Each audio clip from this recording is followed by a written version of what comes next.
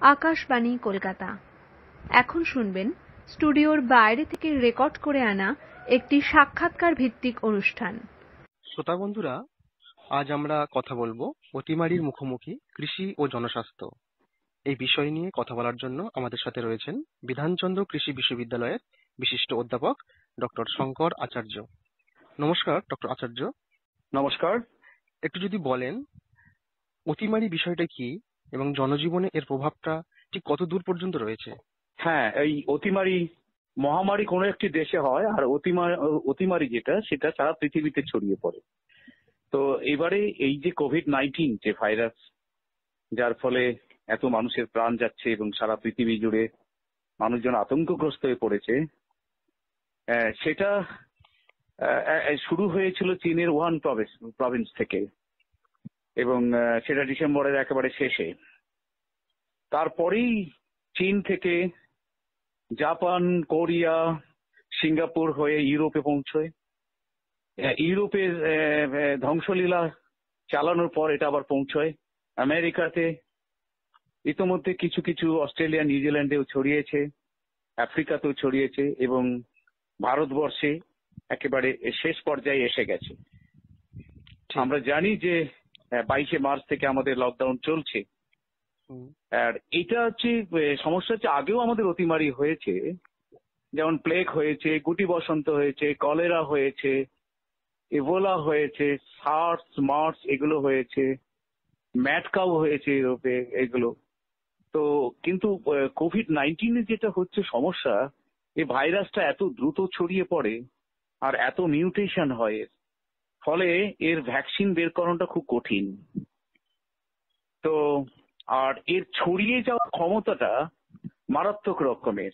আচ্ছা। তিনটে স্ট্রেন আছে এ বি এবং সি তো সৌভাগ্যক্রমে বি হচ্ছে ভারতবর্ষে রয়েছে যার ইনফেক্টিভিটি বা সংক্রমণ ঘটানোর ক্ষমতাটা তত বেশি বা মারাত্মক নয় যতটা ওই বাকি দুটো যে স্ট্রেন বললাম তাদের তুলনায়। ঠিক। এবং এখন পর্যন্ত আপনি জানেন যে পৃথিবীতে টেন মিলিয়ন প্রায় এক কোটি মানুষের ছাড়িয়ে গেছে, আক্রান্ত হয়েছে। আর এখানে ভারতবর্ষে আমাদের এখানে আপনি জানেন যে সাড়ে ছ লক্ষ মতো মানুষ আক্রান্ত। আঠারো, সাড়ে আঠারো হাজার মানুষ মারা গেছেন। তবে কিছু আবার সাড়ে ছ লক্ষ আক্রান্ত হলেও তিন লক্ষের ওপরে মানুষ আবার সুস্থ হয়ে ফিরে এসেছেন। ভারতবর্ষের পক্ষে যেটা একটা ভালো দিক হচ্ছে যে আমরা রিকভারি রেট মানে ফিরে আসা সুস্থ হয়ে ফিরে আসার হারটা অনেক বেশি। আচ্ছা রিসেন্টলি আর একটা জানেন যে আর নট কোশ্চেন একটা আছে।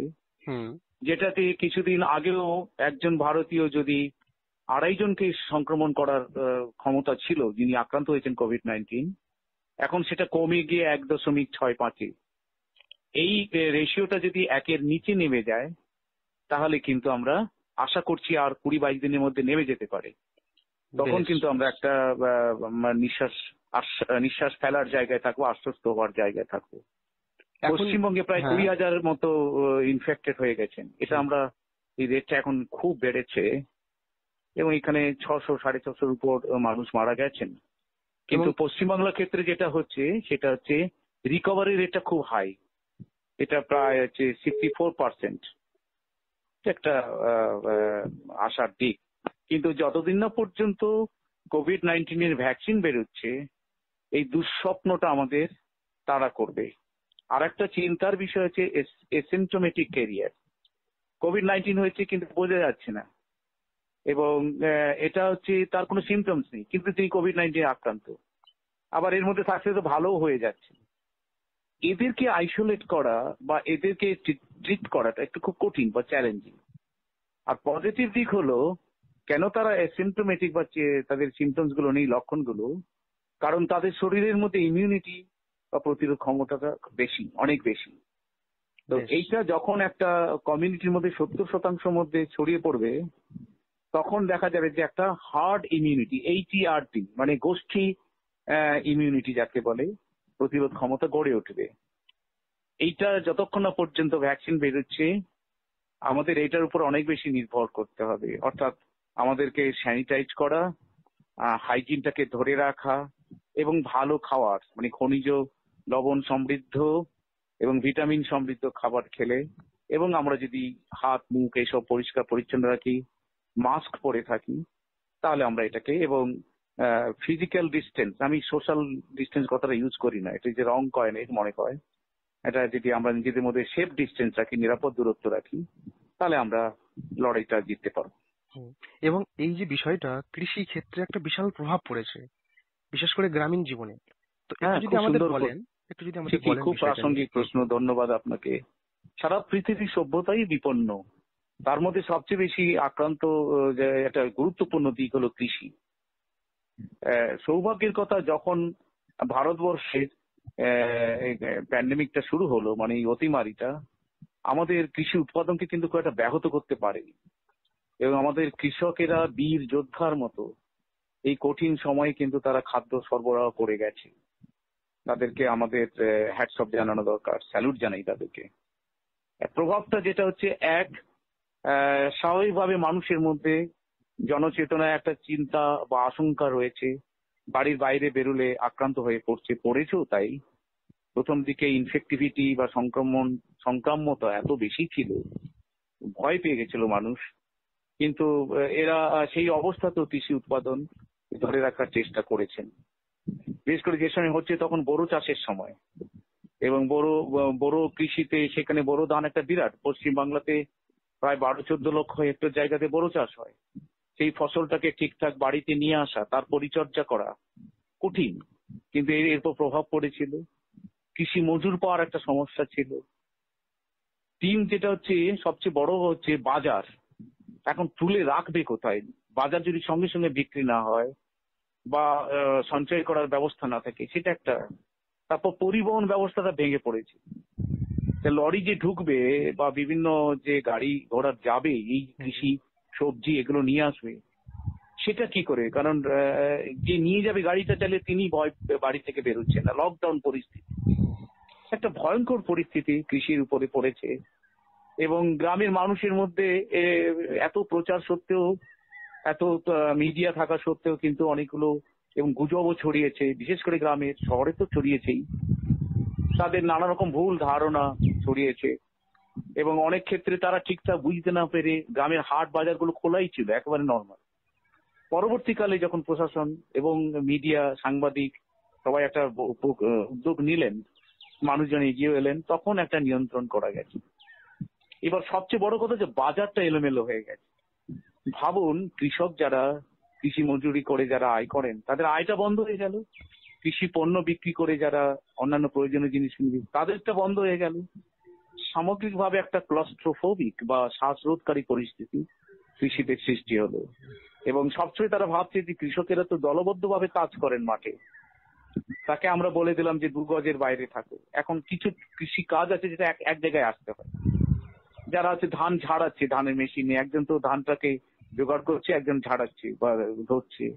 তাই তো তিন চার ফিটের কাছাকাছি চলে আসে। এগুলো মেনে চলা খুবই কঠিন। রোয়ার সময় কাছাকাছি চলে আসতে পারে। সারিবদ্ধভাবে হঠাৎ করে যখন একটা বিশাল পরিবর্তন ঘটে কোনো ব্যবস্থাতে, তাতে খাপ খাইয়ে নেওয়া খুবই কঠিন। কৃষিক্ষেত্র তার কোনো ব্যতিক্রম নয়। বেশ। যদি একটু আমাদের বলেন এই সময়ে তো প্রচুর পরিমাণে পরিযায়ী শ্রমিক তারা বাড়িতে ফিরেছেন এবং তারা তো এই যে গ্রামের যে কৃষি ব্যবস্থা, তার সাথে তারা যুক্ত হয়েছেন। ফলে একটা যে কর্মসংস্থানের যে ব্যাপারটা, সেটাও এসে যাচ্ছে? তো যদি একটু আমাদের বলেন বিষয়টা নিয়ে। এটাও খুবই গুরুত্বপূর্ণ একটা প্রশ্ন ধন্যবাদ পবিত্রবাবু। যেটা যেটা হয়েছে, সেটা আমি পরিযায়ী শ্রমিক এটা আমরা ব্যবহার করছি ঠিকই। এই শব্দটাতেও আমার আপত্তি রয়েছে, যেমন সামাজিক দূরত্ব সোশ্যাল ডিস্টেন্স তার কারণ আছে, পরে একটা অনুষ্ঠানে বলা যাবে। সবাই আমরা পরিযায়ী আমরা কেউ গ্রাম থেকে এসে শহরে ফ্ল্যাট কিনেছি আমরাও পরিযায়ী দেশ থেকে বিদেশে গেছি আমরাও তারাও পরিযায়ী সুতরাং আজকে এটা সঞ্চরণশীল জীবিকাটা সবসময় কোনো একটা ভূগোলের মধ্যে আটকে থাকে না। যেই যাই হোক জীবিকার কারণে যারা ঘর ছাড়া এই শব্দটা আরও ভালো তারা বাইরে ছিলেন। এই ঘর ছাড়ারা ঘরে ফিরছেন। এই ঘর ছাড়া মানে মূলত তারা হচ্ছে যেমন ধরুন মুর্শিদাবাদ। প্রচুর রাজমিস্ত্রি রয়েছেন বাইরে। হ্যাঁ আরও অন্যান্য রয়েছে তাদের। সুন্দরবনের প্রত্যন্ত অঞ্চলে রয়েছে। সুন্দরবনের প্রত্যন্ত অঞ্চল থেকে তারা বিভিন্ন জীবিকায় গেছে। তারা চলে গেছে। কারণ সুন্দরবনে কৃষি মূলত বৃষ্টি নির্ভর কৃষি থেকে তাদের জীবিকা হচ্ছে না। কৃষি থেকে তাদের আয় অনিশ্চিত। তারা তো ঘর ছাড়বেই। আমাদের কৃষি ব্যবস্থা তাদের পরিপূর্ণ পারিবারিক আয় এবং তার স্বাস্থ্যকে সুনিশ্চিত করতে পারে না। সেই জন্য তারা ঘর ছাড়া হয়েছিল। এখন তারা ঘরে ফিরে আসছেন। ঘরে ফিরে যখন আসছেন তখন সমস্যাটা এই যারা আস্তে আস্তে হয়েছে রাস্তায় প্রাণ গেছে অনেকের। অনেকে বে- হাজার কিলোমিটার উপর সাইকেলে করে পায়ে হেঁটে এসেছেন। একটা ভয়ঙ্কর অবস্থা মানে ভাবা যাবে না। মানে এই শতাব্দীতে এরকম আমরা ভাবতেও এবং পারি। এই সমস্ত মানুষজন তারাও তো কৃষি কাজের সাথে যুক্ত হবে? এক্স্যাক্টলি। এবার তারা তারা কৃষি ছেড়ে গেছেন ফিরে আবার কৃষি ব্যবস্থা সম্বলিত গ্রাম গ্রামীণ অর্থনীতিতে ফিরে আসছেন। ঠিক। তাদের আমরা কি করে নিয়ে যাব? ঠিক। হ্যাঁ একটা কথা মনে রাখতে হবে এই ঘর ছাড়া বা পরিযায়ী যাই বলুন এদের কিন্তু দক্ষতা আছে এদের কিন্তু শিক্ষাগত যোগ্যতা অনেক ইঞ্জিনিয়ার রয়েছেন এখানে ঠিক ঠিক। তো এদের মধ্যে সেই দক্ষতাটাকে আমাকে কাজের স্কিলটা যেটা রয়েছে সবসময় আমরা দুটো জিনিস এদেরকে ফেস করতে হচ্ছে মুখোমুখি হতে হচ্ছে। এক মানুষের অবিশ্বাস গ্রাম এদেরকে ঠিকমতো গ্রহণ করছে না গাছের তলায় প্রান্তিক জায়গায় রেখে দিচ্ছে। আবার অনেকের মধ্যে হয়তো কোনো কারণে কোভিড নাইন্টিনের ইনফেকশন রয়েছে, সেই কারণেই হয়তো তাদেরকে আইসোলেশনে চলে যেতে হচ্ছে। আবার অনেকে বাড়ি ফিরে যাচ্ছেন, কিন্তু তারা চোদ্দ দিন থাকার পর আবার ফিরতে চাইছেন মূল কাজে। সেটা হচ্ছে আমরা তাদের এই যে দক্ষতার কাজের, যিনি গাড়ি চালাতেন, ধরা যাক বম্বেতে বা মুম্বাইতে যিনি গাড়ি চালাতেন, দিল্লিতে যিনি গাড়ি চালাতেন, তার এই দক্ষতাটা আমরা ট্রাক্টর পাওয়ার টিলার কাজে লাগাতে পারি রিপেয়ারিং যেটা তার কাজে লাগাতে পারি। যিনি হচ্ছেন স্বাস্থ্য পরিষেবার সঙ্গে বাইরে যুক্ত থেকেছেন, এই সময় আমাদের খুব স্বাস্থ্যকর্মীর প্রয়োজন। তারা স্বাস্থ্য পরিষেবা দিতে পারবেন কোভিড নাইন্টিনকে আমরা কি করে হোম আইসোলেশন বা বাড়িতে অন্তরীণ থেকে কি করে চিকিৎসা করতে পারি। যারা দর্জির কাজ করতেন বাইরে, সেই দক্ষতাটুকু লাগাবো আমরা এখানে মাস্ক তৈরিতে হ্যাঁ আর হচ্ছে পিপিই তৈরির ক্ষেত্রে আমরা করব। অথবা স্যানিটাইজার তৈরির ক্ষেত্রে আমরা তাদের লাগাতে পারি। হ্যাঁ সুতরাং স্বাস্থ্য পরিষেবার যে উপকরণগুলো এখন প্রচুর ভাবে তাদের চাহিদা, নতুন বাজার তৈরি হয়েছে। স্যানিটাইজিং এজেন্ট যেগুলো বা স্যানিটাইজার যেগুলোকে আমরা সংক্রমণ রোগ রুখতে পারব বলে ধারণা, সেগুলোকে আমরা আমাদের প্রচুর দরকার। আমাদের লো কস্ট দরকার, সবার তো আর এত দাম দিয়ে কেনার ক্ষমতা নেই। তারপর মুখোশ বা যেটা মাস্ক বলি, সেটাকে আমরা ঠিক মতো বৈজ্ঞানিক ভাবে সেই দক্ষতাটা ওদের রয়েছে তাদের সেই দক্ষতা আমাদের কাজে লাগাতে হবে। আরও একটা বিষয় যেটা হবে যে এই এই যে যে দক্ষতা নিয়ে ঘর ছাড়া শ্রমিকেরা আবার বাড়ি ফিরছেন বা পরিযায়ীরা আবার বাড়ি ফিরছেন, তাদেরকে আমরা গ্রাম পুনর্গঠনের কাজে লাগাতে পারি। কনস্ট্রাকশনের কাজে যারা চলে গেছে, যেমন ধরুন এখন একটা নতুন চিন্তা হচ্ছে যে, হোম আইসোলেশন বা ঘরের মধ্যে অন্তরীণ রাখলাম। কিন্তু ছোট জায়গার উপর আমরা যাতে দু তিনটে রুম এখন অনেক ক্ষেত্রে একটা বা দুটো ঘর বেশি থাকে। ভারতবর্ষের গ্রাম অঞ্চলের ষাট থেকে পঁয়ষট্টি শতাংশ মানুষের বাড়িতে ম্যাক্সিমাম দুটো রুম আছে। এটা আমাদের নমুনা সমীক্ষা থেকে বলা গেছে ঠিক আছে? একশো যদি বলি যে আমরা প্রায় তেরো কোটি মতো পরিবার রয়েছে গ্রামাঞ্চলে তাহলে তার মধ্যে দেখা যাবে যে sixty five to seventy percent তাদের একটা থেকে ম্যাক্সিমাম দুটো আছে।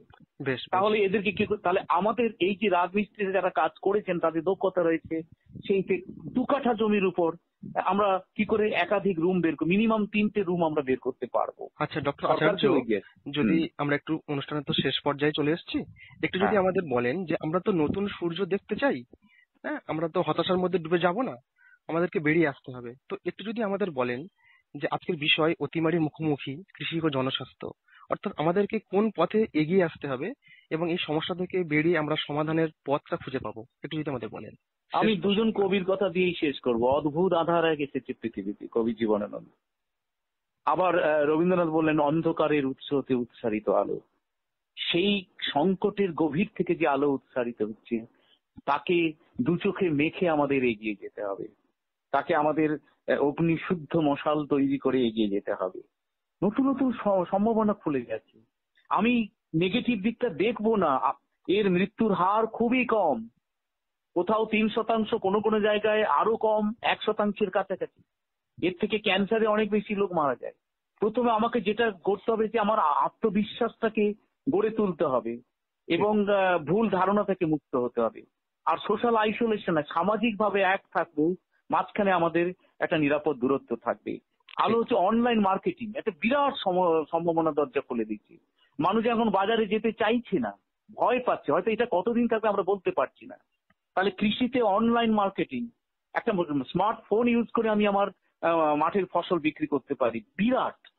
এবার কৃষি বিজ্ঞান কেন্দ্র যেগুলো রয়েছে, তার মাধ্যমে অনলাইন যে কমিউনিকেশন হ্যাঁ স্মার্ট কমিউনিকেশন আমরা সেখানে করতে পারি।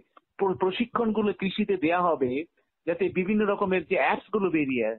আমরা বিভিন্ন অ্যাপস দিয়ে, আমরা আমি নাম করছি না, সকলেই জানেন, একটা গুগল মিট এরকমই আছে। সেই অ্যাপসগুলো স্মার্টফোন এখন সবাই ইউজ করে। সেই অ্যাপস এর মাধ্যমে আমি প্রয়োজনীয় কৃষি প্রশিক্ষণগুলো দিতে পারব। তৃতীয় হচ্ছে যে, আমি তো বলেই দিচ্ছি যে, প্রচুর পরিমাণ আমাদের এই মাস্ক লাগবে। এই মাস্কটা জামা কাপড়ের মতো কি বাজারে লোক জামা কিনতে গেলে একটা মাস্ক কিনবেই এখন। এইটা তো মুখাবরণ যেটা, সেটা আমরা তৈরি করতে পারি লো কস্ট মাস্ক যার দাম দশ পনেরো টাকা আমরা দিতে পারব। দেখেছেন যে গেঞ্জিকে আমরা কনভার্ট করে দিচ্ছি মাস্ককে তার একটা বাজার তৈরি হয়েছে, সেখানে নতুন বাজার স্যানিটাইজার আমরা দেখি না অল্প দামে আমরা স্যানিটাইজার করতে পারি কিনা। আমাদের হচ্ছে আর একটা জিনিস যেটা রয়েছে সেটা হচ্ছে ইমিউনিটি কৃষি এখন আর প্রতি হেক্টরে কত ফলন হয় হবে না। একটা প্যারাডিম শিফট হয়ে গেছে কৃষি সম্প্রসারণের গবেষণা। এখন আমাকে বলতে হবে কৃষি রোগ প্রতিরোধের জন্য। আগে বলতাম কৃষি ক্ষুধা নিবৃত্তির জন্য। ক্ষুধা নিবৃত্তি হলে আমরা বাঁচবো না। খাবার পেলাম আমরা মরে যাচ্ছি। শুধু আমেরিকাতে দেড় লক্ষর উপর মানুষ মারা গেছে প্রায় দেড় লক্ষ। তাহলে আমরা এত প্রযুক্তি রয়েছে সেখানে। আমাকে এই গোড়া থেকে ফিরতে হবে। গোড়া থেকে ফিরে কৃষিকে বলতে হবে যে ভিটামিন সমৃদ্ধ খাওয়ার খনিজ লবণ সমৃদ্ধ খাওয়ার আর কৃষি বৈচিত্র্যের মাধ্যমে নানান ধরনের নন ডেস্টিভ যে ফুল ফলগুলোকে আমরা সবজিগুলোকে ফেলে দিই। আপনি জানেন এই গিমে শাক এই শুশুই শাক কলমি শাক এগুলোর মাধ্যমে প্রচুর পরিমাণে আমরা ইমিউনিটি তৈরি করতে পারি। আচ্ছা আমরা। উম, সময়ের বাঁধনে বাঁধা তো আমাদের অনুষ্ঠান এখানেই শেষ করতে হচ্ছে। শ্রোতা হ্যাঁ, বন্ধুরা ঠিক, ঠিক। আমরা এতক্ষণ কথা বলছিলাম বিধানচন্দ্র কৃষি বিশ্ববিদ্যালয়ের বিশিষ্ট অধ্যাপক ডক্টর শঙ্কর আচার্যের সাথে। নমস্কার। নমস্কার। এতক্ষণ শুনলেন স্টুডিওর বাইরে থেকে রেকর্ড করে আনা একটি সাক্ষাৎকার ভিত্তিক অনুষ্ঠান। নিবেদন করলেন পবিত্র কুমার মণ্ডল।